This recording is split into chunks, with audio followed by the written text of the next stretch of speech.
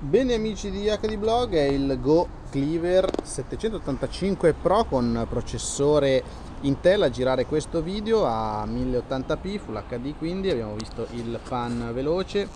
Provo adesso a zoomare. Come vedete non c'è la stabilizzazione dell'immagine questo è uno zoom 4x eh, adesso proviamo il da qui a Milano oggi eccolo qua.